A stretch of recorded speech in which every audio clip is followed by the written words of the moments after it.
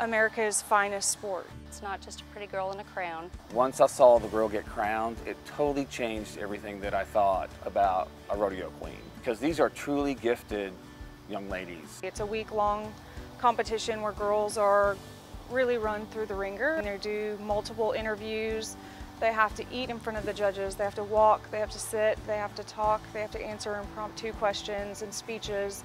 And then of course the talent is riding a horse. It's worth every minute of it. I mean, it's a, it's a once in a lifetime journey. Everybody who's been involved with the organization hopes to see it continue to grow. Any girl that ever thought that they would want to be rodeo queen, they should definitely get involved in this organization because it truly does change lives.